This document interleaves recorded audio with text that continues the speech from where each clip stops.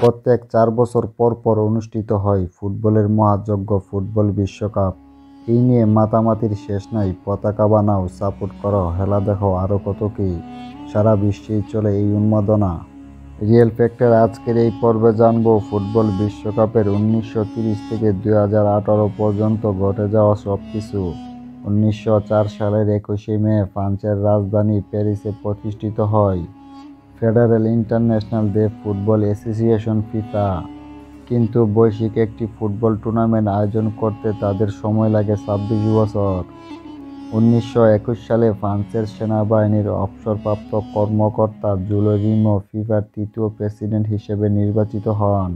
অলিম্পিকে বিভিন্ন দেশের ফুটবলের দারুণ সাফল্যে উজ্জীবিত হয়ে ওঠেন জুলোরিমে দায়িত্ব নেওয়ার পর থেকেই তিনি একটি আলাদা বৈশ্বিক টুর্নামেন্টের আয়োজন করার চিন্তাভাবনা করেন।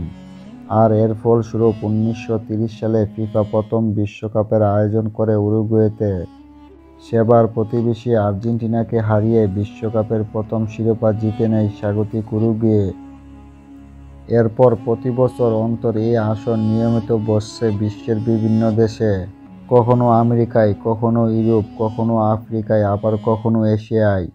শুধু দ্বিতীয় বিশ্বযুদ্ধের কারণে উনিশশো বিয়াল্লিশ এবং উনিশশো এই দুইটি বিশ্বকাপের আসর বসেনি। এ পর্যন্ত বিশটি বিশ্বকাপে আটটি দেশ শিরোপা জিতেছে। সর্বোচ্চ পাঁচবারের শিরোপা জয়ী দক্ষিণ আমেরিকার দেশ ব্রাজিল। একমাত্র ব্রাজিলই এখন পর্যন্ত বিশ্বকাপের সবগুলো আসরে অংশগ্রহণ করেছে। ব্রাজিল ছাড়াও ইতালি বিশ্বকাপ নিয়েছে চারবার, পশ্চিম জার্মানি বিশ্বকাপ নিয়েছে চারটি, আর্জেন্টিনা এবং উরুগে দুইবার শিরোপা জিতেছে। ইংল্যান্ড, ফ্রান্স ও স্পেন একবার করে বিশ্বকাপ শিরোপা জিতেছে। বিশটি বিশ্বকাপ আয়োজনে মাত্র ছয়বার স্বাগতিক দেশ বিশ্বকাপ জিতেছে। উনিশশো তিরিশ বিশ্বকাপ উরুগুয়ে। উনিশশো সালে বিশ্বকাপের প্রথম টুর্নামেন্টের শিরোপা জিতে স্বাগতিক উরুগুয়ে। উনিশশো সাল ছিল উরুগের স্বাধীনতার একশোতম বছর। স্বাধীনতার শত বছর উদযাপনের জন্য তারা ফিফার কাছে প্রথম বিশ্বকাপের আয়োজক হতে চেয়েছিল। স্বাধীনতার শততম বছর তারা ইতিহাসের প্রথম বিশ্বকাপ জিতে অন্যান্য কীর্তি স্থাপন করে।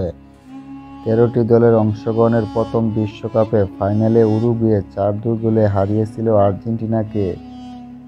এর আগে উনিশশো আঠাশ সালের অলিম্পিকের ফাইনালে আর্জেন্টিনাকে একই ব্যবধানে হারিয়ে শিরোপা জিতেছিল উরুগুয়ে। উনিশশো বিশ্বকাপ ইতালি।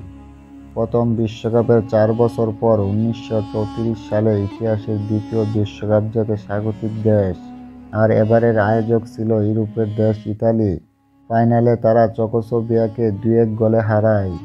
উনিশশো সালের প্রথম বিশ্বকাপে উরুগুয়ে সফর করতে অস্বীকৃতি জানায় ইতালি।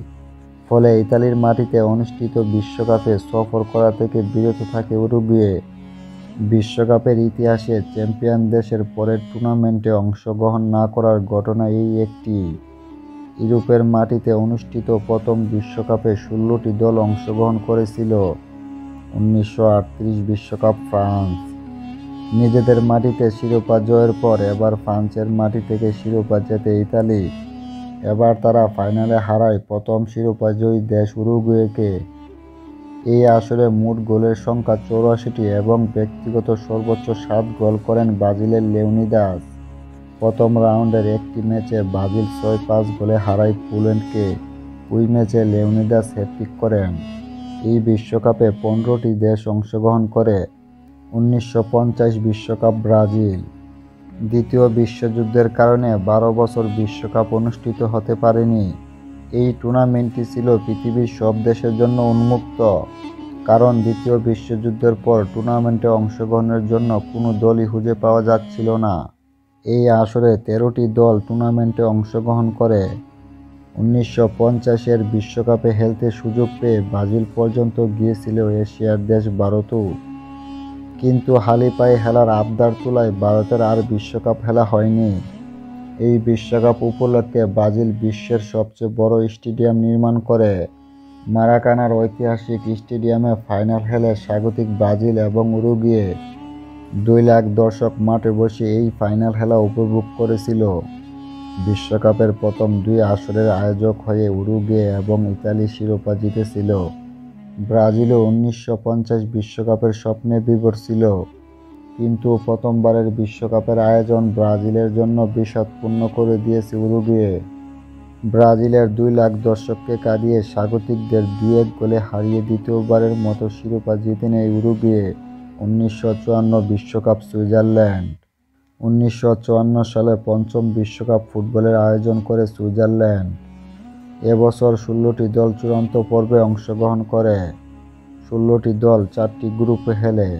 এই বিশ্বকাপের কোয়ার্টার ফাইনালে ব্রাজিল হাঙ্গেরির ম্যাচটি শারীরিক শক্তির প্রয়োগের এক বিবশ রূপ লাভ করায়।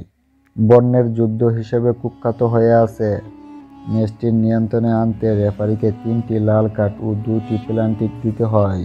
খেলার পরও দুই দলের খেলোয়াড়রা মারামারিতে জড়িয়ে পড়ে। ফাইনালে হাঙ্গেরিকে সম্পূর্ণ নতুন এক জার্মান দলের মুখোমুখি হতে হয়। হাঙ্গেরি ফাইনালের আগে টানা একত্রিশ ম্যাচ অপরাজিত ছিল। পশ্চিম জার্মানি সেই হিসেবে ছিল বেশ দুর্বল। ফাইনালের আগেই সবাই হাঙ্গেরি খেলোয়াড়দের হাতে শিরোপা দেখছিল। কিন্তু অপ্রত্যাশিতভাবে জার্মানির কাছে তিন দুই গোলে হেরে যায় হাঙ্গেরি। অসুস্থ অবস্থায় এদিন মাঠে নামেন হাঙ্গেরির কিংবদন্তি পুস্কাস। পুস্কাস ও বিজয়ের গোলে প্রথম আট মিনিটের মধ্যেই দুই শূন্যতে এগিয়ে গিয়েছিল হাঙ্গেরি। কিন্তু জার্মানিরা অসাধারণভাবে ঘুরে দাঁড়িয়ে শেষ পর্যন্ত তিন দুই গোলে জিতে এই বিশ্বকাপটি। শেষমেশ বা পায়ের জাদুতে দুজন প্রতিপক্ষ ডিফেন্ডারকে কাটিয়ে হেলার চৌরাশি মিনিটে জয়সূচক গোলটি করেন হেলমুট রাহন, জার্মানির প্রথমবারের মতো বিশ্বকাপ চ্যাম্পিয়ন। উনিশশো চুয়ান্ন এর বিশ্বকাপ বিজয় জার্মান জাতির জন্য শুধু সামান্য একটি হেলার জেতা নয়, এই বিজয় পুরো জাতিকে ঐক্যবদ্ধ করল। আন্তর্জাতিক অঙ্গনে হেলার অধিকার না থাকার পরেও মাথা নত করে হাল ছেড়ে না দেওয়ার অদম্য তাদেরকে আবার বিশ্বের দরবারে ফিরিয়ে আনলো। সেই থেকে আর পিছু ফিরতে হয়নি তাদের। শুধু ফুটবল নয়, জাতি হিসেবে তারা খুব অল্প সময়ের মধ্যে হিটলারের অপকীর্তিকে পেছনে ফেলে বিশ্বে তাদের অবস্থানকে পুনরুদ্ধার করল।